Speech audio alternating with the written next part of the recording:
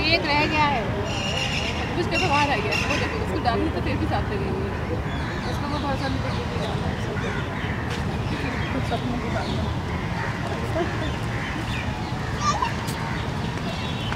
है